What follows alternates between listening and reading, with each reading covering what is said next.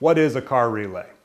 A car relay is an electromagnetic switch that allows you to run a higher current uh, application that would normally exceed the capacity of a standard toggle switch. If you were to look inside of a relay, you would find a small coil that is actuating the actual connector on the relay. And when voltage is applied to that coil, it closes the relay and allows current to flow between the pins.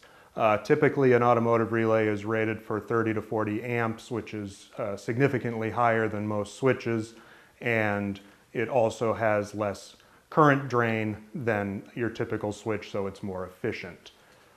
Um, you can test relays quite easily with a multimeter and a 12 volt power source.